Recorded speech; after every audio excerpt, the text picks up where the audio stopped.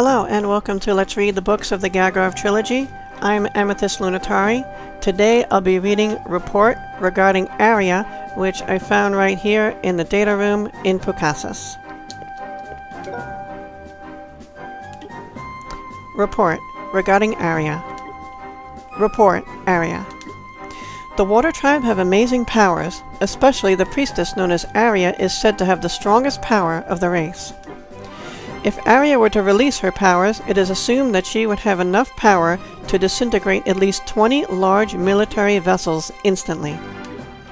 It is thought that she has sealed her own powers, but if we can take advantage of this power, she would no doubt be of great military power for us as a human weapon.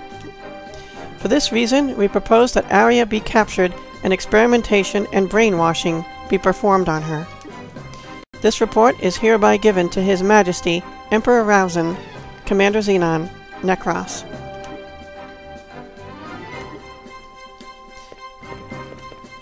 Thank you for listening to Let's Read the Books of the Gagharv Trilogy. Report regarding Aria.